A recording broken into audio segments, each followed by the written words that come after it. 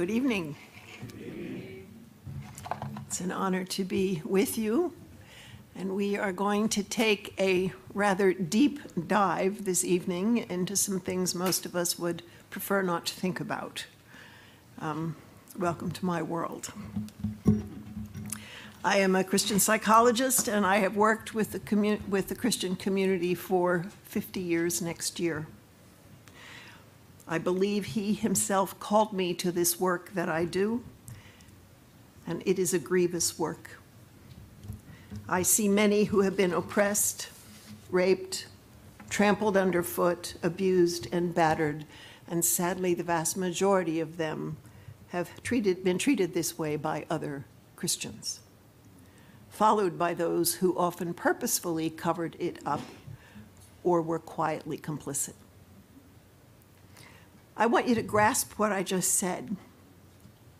No one in this room wants it to be true. Neither do the people who covered it up. Within the space of power and pulpits and high places, I have encountered abuse, violence, extensive deception, and trauma since the beginning of my career in 1972. Along with the victims of such things, I have also worked with Christian pastors and leaders.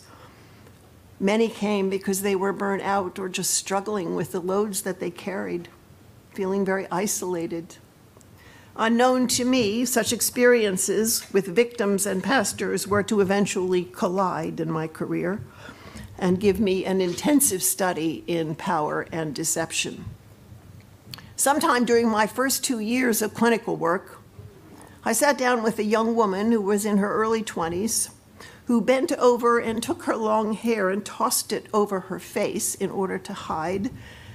And for the first time in life, my life, I heard the words, My father did weird things to me.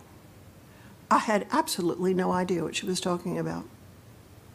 Those were the years before public or professional discussion of childhood sexual abuse and when I went to a supervisor about the young woman, I was told that women sometimes tell these hysterical stories, and your job is not to get hooked by them. You will contribute to their pathology if you believe what they say. As other stories were told to me over time, I ultimately made a decision to believe the women rather than the supervisor, which I suppose tells you something about me. It was, in fact, the supervisor who was deceived, not the women. And then I began hearing about rape and domestic violence, and I began to understand that sexual abuse and domestic violence are just different faces of this thing we call violence, abuses of power, traumatic to experience, and acts full of and often covered by layers of deceit, often in the name of God. Needless to say, those experiences were profoundly shaping Unknown to me, I was being taught by God through desperate people to swim against the current. He was teaching me to heed his voice, no matter what others were saying. And he began to teach me about his love of truth, even when it's ugly, his character of integrity, and his longing that that be emulated in his followers. He showed me that to be a member of or a leader of a church, even an esteemed one, does not necessarily mean that a person's citizenship is actually in heaven. He taught me that this lovely word, truth, something he embodied, sometimes means speaking about or exposing hideous things, and that he is not surprised by, nor does he ever minimize evil. In fact, evil is the cancer that kills his people. Many at that time said that such abuse could not be happening. Victims were looking for attention. I was being sucked in and deceived. Post traumatic stress disorder was not a diagnostic category until 1980. That was eight years after I sat with the young woman. I learned over time that violence silences and deceives human beings both victim and perpetrator, and other witnesses as well. And I began to understand that deception is soul deadening and produces despair. Deception is what ruined human beings in the very beginning. Relentless abuse and injustice mars the image of God in humans and makes them far less than who God created them to be. In fact, relentless oppression, always supported by deception, can make oppressors out of victims. So while we talk together over the few days I'm here, we will be looking at the topics of power and deception and the church, words that should not belong together. We will consider the issues of power and deception because we sadly know that the abuse of power does exist in Christ Christian homes, in organizations, and churches, and has often been covered up, sometimes for decades. We did not know and do not know to believe that we, that we do not want to believe that abuse exists. We certainly don't want to believe that it is in the homes that are represented in our pews. And we never want it to be believed that it is in the church, carried out by and covered up by church leaders. Sadly, it has taken the secular media and courts to make it abundantly clear that abuse is in all such places and has even been perpetrated or covered up by some we have held in high esteem. I am grieved that it has been the media and not the people of God who have dragged this to the light. Consider this story. A young woman was growing up in a home that was a bit chaotic, and her parents were continually stressed. They had many children, money was tight, and mom suffered from depression. The little girl was lonely. A friend at school invited her to come to church. They had a great youth group, she said, and the young pastor who ran it was energetic and warm, and he had a very pretty wife. She loved it. She went weekly for months. The youth pastor was lots of fun and taught them about God, and she was hungry to know more. The youth pastor paid attention to her and offered to teach her individually so she could learn more about God. And he would take her and get her a sandwich and listen and answer her questions. It was wonderful. She felt special to the youth pastor, but more importantly, she felt special to God. And then one day it got weird the youth pastor started talking about how special she was and how he wanted to see more of her. He started touching her. She didn't like it, but was afraid to say so. She thought maybe she misunderstood. Eventually, one day, he drove her home, and on their way down a dirt road, he forced her into sex. She was terrified, in pain. I think we rightly name that act rape. Not a mistake. She was 13. She tried to tell her friend from school and church. The mother's friend went to the senior pastor of the church, but he never spoke to her. No one asked her questions. And one day, when she went to church, a lady in the church sat down beside her and said she probably should stop coming because they did not want her to be there to damage the youth pastor's good reputation. Her friends quit talking to her, even at school, and she read in the paper many years later that the youth pastor had been arrested. It turned out she was not the only one. No one came to speak with her about it then. She'd never told her story. Twenty years later, she sits in a row pew, back row pew in your church, hungry still for the God she longed for at 13, and terrified certain that her search will result in more hurt and denial and silence. It took tremendous courage to even cross the threshold of the church and wonder what others would say if they knew her story. She's afraid to hear about God and what he thinks, and yet still remains hungry for his love. Will she ever hear the truth about sexual abuse from your pulpit or from a class at church? How do you think she would feel if someone in authority particularly a male, asked to meet with her. Would anyone hear her story and be able to say they believe her and know someone who understands and could perhaps actually help her? What are the lessons of the church for this woman? That it's a place to worship God, a refuge, a sanctuary, that sheep can safely graze inside its walls, that truth is taught and desired, that godliness is sought after, and sin is dealt with no matter where it's found. That there's a safe place for little ones and people who seek to do nothing to hinder them, but come along and feed them and protect them from wolves? Or have we made the Father's house a den of robbers, which literally means a safe place for those who steal? With this story in mind, let's look at what we mean by power. Where does it come from, and how is it expressed? The word power means having the capacity to do something, to have an effect, to, the, to influence people or events, to have authority.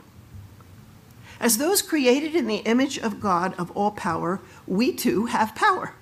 He gave it to us, even our little ones. A hungry infant can drag two exhausted adults out of bed at three o'clock in the morning. That is power. Power is present in every human, and God says, Let us make humans in our image and let them rule. Rule is a power word, it means things like decree or require or demand. We were designed by God to have power. We bear his image. He has all power. He gave us limited power. And we are to rule and bear fruit in His likeness with the power that He gave us. In essence, God created us in His image, thereby multiplying His likeness on the earth. This God, who is faithful, loving, truth itself, and a refuge, made us so that we would replicate His character on the earth. We are to make his likeness manifest, to make it clear.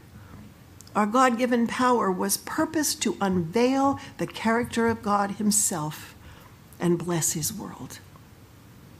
When you sit with people and teach them or listen to them, you are in essence to be a living model of the character of Jesus Christ. You invite their truths, no matter how ugly they are, into your life and listen, and you live truth out of your own life. Power presents in many forms. Verbal power is an obvious one. We use words to define and manage and control situations and other people. It includes silence, withholding words when they are needed, which we often call the silent treatment. Words and silence can both be used for good or ill. Verbal power, our words, are meant to bring blessing and truth. You think of the woman I described. Verbal power was both misused and covered up. There was no love, no kindness, and no truth in the words spoken or in the silence. Another kind of power is emotional power. It can be demonstrated by empathy or comfort or love toward another. It can also be the power of rage, anger, and fear or condemnation to control or silence another. We have all had the experience of taking another's emotional temperature in order to decide how we should speak or act in their presence. Damaging responses to others' feelings can be humiliating to them. Shaming another who is afraid or grieving can crush them. Perpetrators often use seemingly good emotions in order to ensnare another, such as the youth pastor did in our example. The most obvious form of power is physical. The bigger and stronger have power over the smaller and the weaker. It can also be a physical movement without words, such as someone curling their fists and silently staring. It is a threatening physical movement with a message. And you hit a spouse once, then just raising your fist has remarkable power. It can also be a physical presence that can fill a room, a strong personality that can control a room, a company, or even a nation. Knowledge is a kind of power, as is position. Think about sitting with the doctor and he's going to have some tests made to see the source of your symptoms or pain. And he's not only going to give you the results, but he's going to interpret them for you, and he's going to tell you what treatment is necessary if it is. And depending on the outcome, His or her knowledge and position and words could turn your whole life upside down. And because of the knowledge and position, you most likely will listen and do what you are told, even if you're terrified.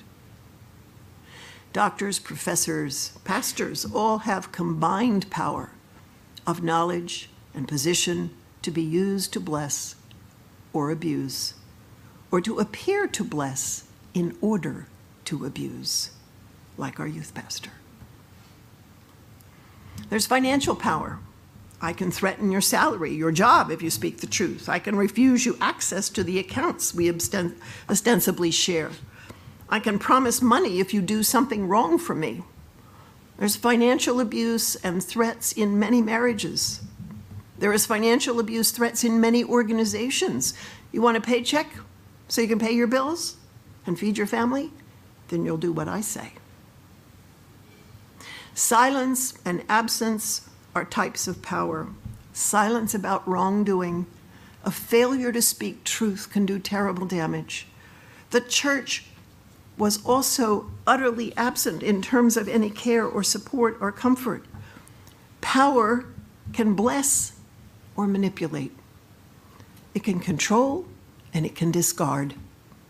The silence of humans has done that in many arenas, not just for individuals, but organizations and again, nations.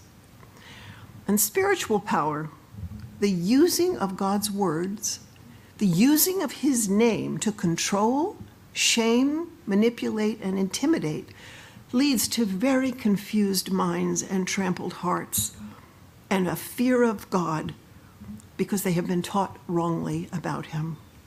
God's own words can be used as a way of exploiting or crushing a very vulnerable person. In our example, the youth pastor used God's words to draw the girl in, to deceive her about herself, and ultimately to do great damage to her life. He used his spiritual power to exploit her. The church used its spiritual words and power to blame her and cast her out. Obviously, power is a gift from God to humans, given for the purpose of blessing his world and each other, and demonstrating his likeness. Also obvious, it has been twisted and grossly misused by humans. It has been used in ways that are destructive of the image of God in other humans and that blaspheme God leaking down sometimes in families through the generations or leaking around the globe. It is critical that we understand the kinds of power that we have and consider how we use them. It looks like when it is abused that we have used our power, we convince ourselves, for something good. But when we really look at it and see what we've done, we've used something God gave us in wrong ways in order to protect ourselves or get what we want. All humans are vulnerable. We have power, but we're also vulnerable. And vulnerable simply means we're capable of being wounded. There's nobody in this room who is not capable of being wounded. We are all of us frail and finite. We often see vulnerability as a weakness, as if it were a defect. It's not a defect, it's just human. God is not vulnerable, at least not in heaven, he's not. He was here on earth. Our capacity for being wounded is constant. We don't like it.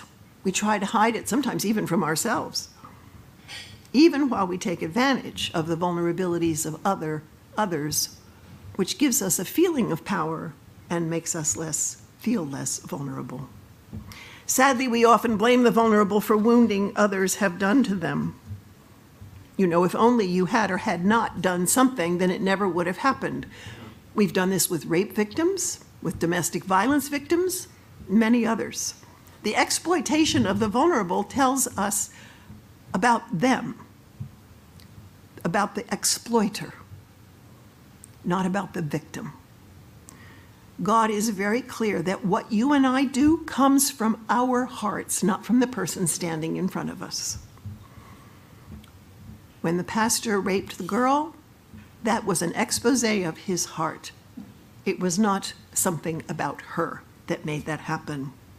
Whether it's evil thoughts, immorality, pride, many other things, they expect something about us, and we pollute ourselves when we wound the vulnerable. We are exposed as ungodly. Our response to vulnerability tells us about ourselves, not about the vulnerable. Their vulnerability tells us about them and always calls for care and protection. Jesus' response to our vulnerability is worth studying. When he encountered blindness, which is certainly a vulnerable way to be, which the crowd again assumed was because the blind man had sinned. And if he hadn't, surely his parents had, otherwise he wouldn't be like that, right? Jesus opened his eyes and he said, The man had not sinned, nor had his parents. His vulnerability was the stage for God's work to be displayed.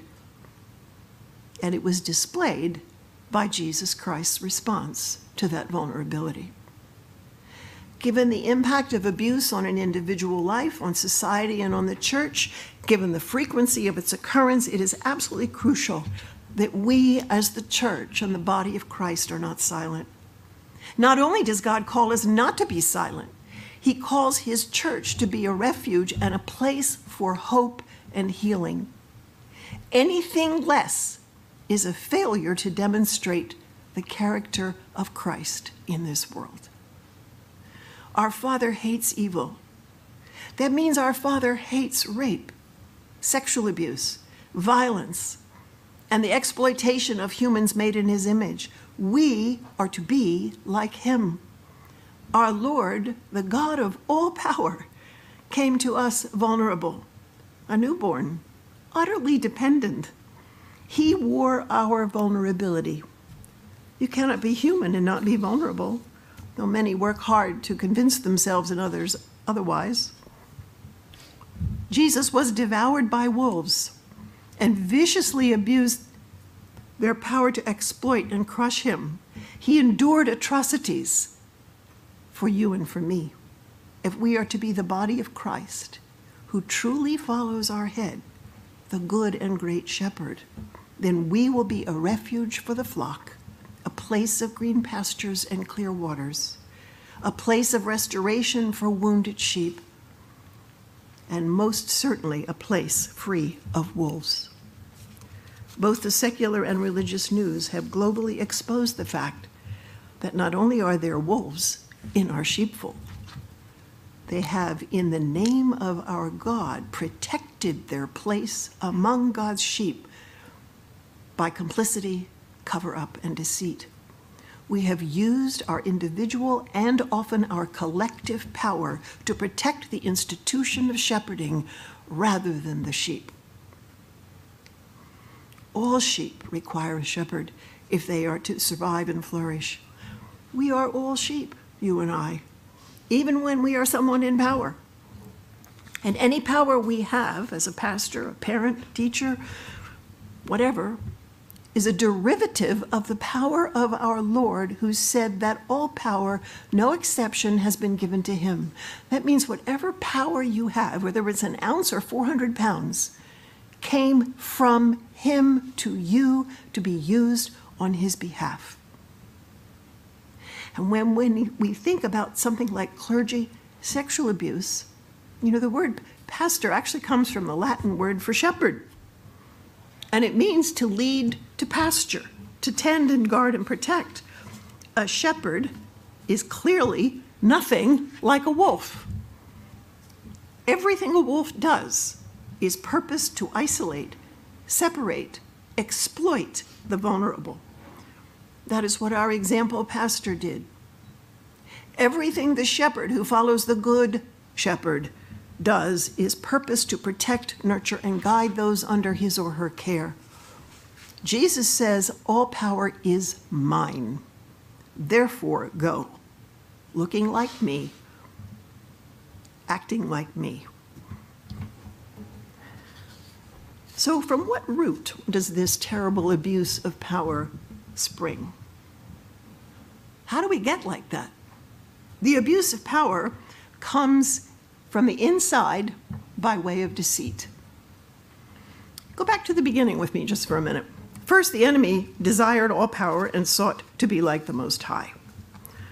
The desire itself is a complete deception if you think about it. The enemy was a created creature, he was not self sustaining. He deceived himself into thinking he could be the Most High and attain self rule. In pursuit of that status, he sought to attain the subservience of humans whom he had not and could not create. He did so by taking the word of God and twisting it. As God said, he deceived using God's words so as to serve himself. It's a familiar and oft repeated pattern by human beings. We call it spiritual abuse today. Eve responded by believing, speaking truth, but she tacked a lie on. Will not eat or touch. Her response included a lie even as she spoke partial truth. She was already deceiving herself. The serpent suggests God lied. You're not going to die. You'll actually be more like him. And Eve decided the tree, which God had said no to, was actually good. So she ate some and gave it to another. And Adam and Eve told themselves that they were pursuing a greater likeness to God, which was their purpose. They failed to see or wrestle with the fact that they were pursuing God's likeness through ungodly means, which is something we have continued down through the centuries. Consider the recent demise of RZIM. We were told years ago that his honorary doctorate was, in fact, an educational degree. It was an early deception. He was claiming the doctorate represented years of successful academic work. It did not. I suspect both Ravi and those around him chose to ignore the deception because, after all, an academic degree from a globally respected institution would bolster a gospel apologetics ministry, which is a good thing, right? The lie would be used in service of the truth. God's truth. Misnaming an honorary doctorate for the good of God's word seems miles away from things like sexual abuse of an num- uh, unknown number of victims from around the globe. It is not. Because deceit is a narcotic that deadens us to wrongdoing. Once we start, it's really easy to add more. We then continue to inject the poison without distress. It will eventually kill us. It killed Adam and Eve. It brought many forms of death into the life and world of Ravi. His character was not one of truth, even as he spoke of teaching truth to the world. Deceit is a very strong narcotic. And deceit spreads, it's contagious. The one doing the deceiving becomes better at what they practice, and the deceptions multiply the mechanism remains the same.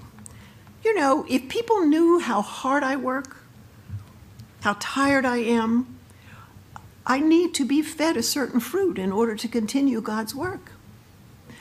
It gets difficult, however, to carry around increasing deceptions and keep them hidden. Often the system, then, that surrounds the individual steps in and supports the deceptions. Why? Because it is the work of God and we cannot let that go down. As the deceptions become more frequent and victims become vocal, they must be discarded, maligned, and criticized because they are trying to destroy God's work. We humans have been deceiving ourselves from the beginning, and the disease infects us all. It breaks the heart of our God every time we do it. In naming his, it is ruining his world. It is destroying his people he created in his image. We tell ourselves and others that the deceptions are for the purpose of good, for the building of God's kingdom. We're working hard. I mean, we're tired, you know? We want God's work to increase. He is, however, the God of truth, the God of light. There is no lie in him. His character and his work never include a deception, a lie, or a cover up, because those things are utterly unlike him. We are never doing God's work when we pursue a seemingly godly goal by way of ungodly means. That's not possible. What we are doing is no longer godly, and neither are we. We are human beings, and we have a seemingly unlimited capacity to hide truths that are painful to us. We have an uncanny ability to push down or cover up knowing what is in fact we knowing what we in fact know. And we do so at least initially by twisting the truth just a bit. The most powerful lie of all is a lie which contains a likeness to the truth in some way as a result self-deception can become the root of terrible evil as tim keller a pastor in manhattan said years ago in a sermon on saul Deception is not the worst thing you can do, but it is the means by which we do the worst things. Deception works on us little by little. We would not be deceived otherwise. There are a couple of scriptures, I think, that will help us in terms of this process of deception and its devastating results. If we go back to Jeremiah, verses we are familiar with, cursed is the person who trusts in mankind and makes flesh their strength, and whose heart turns away from the Lord. For they will be like a bush in the desert, and they will not see when good comes. You see what the narcotic does? Blessed is the one who trusts in the Lord, and whose trust is the Lord, for they will be like a tree planted by the water. And of course, it goes on to say, the heart is deceitful above all things. Who can understand it? A deceived person trusts in something human for heart and soul sustenance. To the extent that eventually we do not recognize when good truth and light come. We put our trust in humans for affirmation, for approval, for success and results, or we put our trust in things like alcohol, pornography, immorality. And we make those the places under which we actually shelter. Of course, our expectation of fulfillment then is continually frustrated because over time, convincing ourselves that what we're doing is for good, we, be, we will eventually lose our capacity to discern good from evil. And the result is that whoever feeds themselves in this way lives, as God says, in stony wastes and does not even see where they are anymore. It's quite terrifying if you really think about it. And it's in all of us. In contrast, the one who trusts God to be his sustenance is not afraid when drought threatens, but somehow remains green and bears fruit.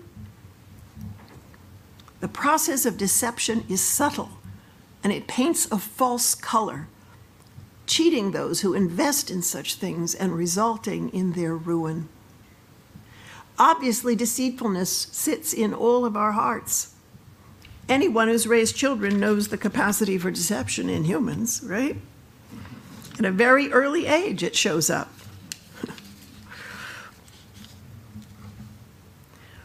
Lies, deception, and vulnerability are a terrible recipe. Without trust in our God, we will become what He hates. Obviously, deceitfulness resides in every human heart. And anyone, again, who raised children knows that. We also deceive ourselves by saying to ourselves things like, It will be good if I do this. I don't want to hurt God's name. We talk to ourselves that way. I know because people have told me how they talk to themselves when they're deceiving. But I don't want it to come out and I don't want to tell anybody because it will hurt God's name.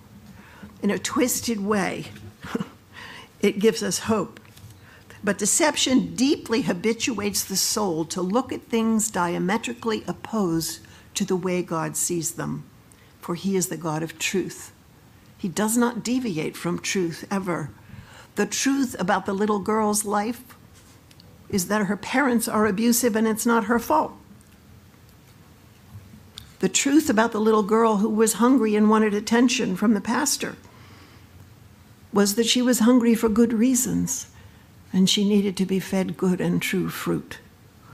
The art of self deception is also our, about our ability to justify to ourselves what we're doing when we know it's wrong.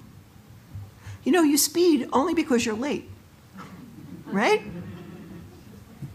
You speak harshly to somebody only because you had a bad day. That's not your fruit. I know speeding and harsh words are wrong but I use external difficulties to convince myself of a justification for breaking the rules. It is painful for me to face and own my own wrongdoing. None of us likes that. So I administer the narcotic of deceit in order to avoid the sting of truth. Yes, you hear this frequently when you work with spouses who are abusive. I turned the table over and broke all the dishes because she didn't, she overcooked the meat and she knows how I like my meat. I mean, that's a really strange explanation, I know, except that I've heard it. it's a real one. I'm abusive because he. I'm abusive because she. It's a statement diametrically opposed to the Word of God. Jesus said, What comes out of me comes from my heart. It is an expose of my heart, not yours. Over time, the deception goes another step. And the, the, uh, the abuser uses deception to lure, to control victims. When you study the grooming of sexual predators, you see the ways in which abuse seduces the victim and the deceptions. That's the foundation for how abuse occurs. We saw that in our example with the youth pastor.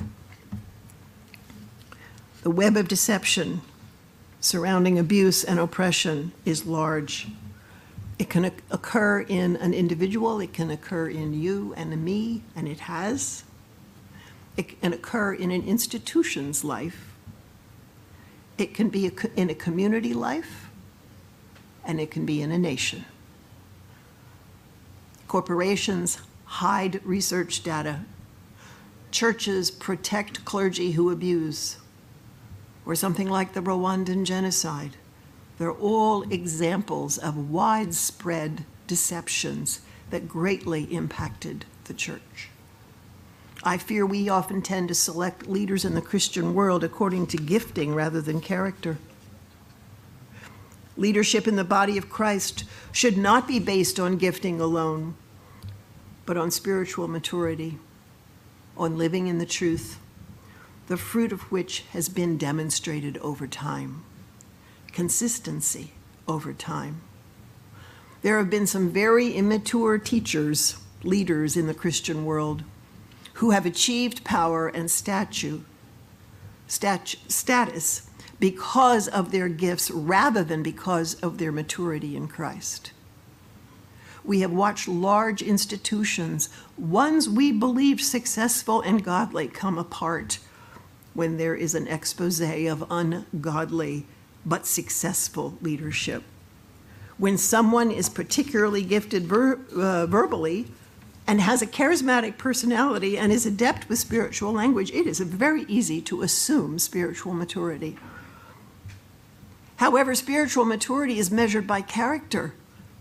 It is measured by the fruit of the Spirit on a daily basis exhibited in someone's life. You think about Jesus and the enemy. It is written, if you throw yourself down, God will send his angels to protect you. The enemy used the words of God to tempt the Son of God. The ability to articulate theological truth does not mean that one is an obedient servant of God.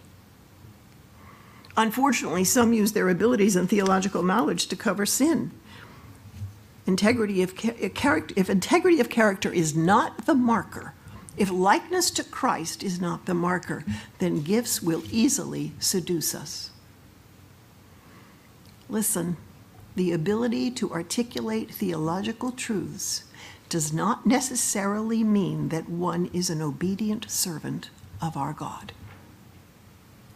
Unfortunately, the abilities and knowledge that bring ministry success easily become ego food. If integrity of character is not the measure of a leader, then we will be seduced by gifts. You see, the work of the church is not the call to ministry. That's really not, as important as that is. Spiritual success is never measured by human outcomes. Our true work is that of manifesting the likeness of Jesus Christ in the flesh in all things, whether it be success or failure, criticism or praise. If numbers, growth, praise, and fame were God's measure, then Jesus would be deemed a failure. Likeness to Christ is not measured by such external things. It is measured by the extent to which a person's character bears fruit that resembles the fruit of the Spirit, no matter the externals. It's not by numbers, my friends, or fame. It's by kindness and faithfulness. It is not by fame, but by humility and self control. Jesus repeated over and over again, I always obey the Father. That was his primary mission, and it's supposed to be ours. We easily deceive ourselves and follow false ways. We follow a Christ made in our own image, one who agrees with us and would never want our temples to be destroyed. But this Jesus did not walk with Rome. He did not walk with temple leadership. He did not even walk with his own disciples when they failed to do the will of the Father. He said, I always do that which pleases the Father. Our call is to his likeness. It is to be seen in us who call ourselves his people, no matter the cost. It is my prayer that we will pay that cost and bring glory to his name. Thank you.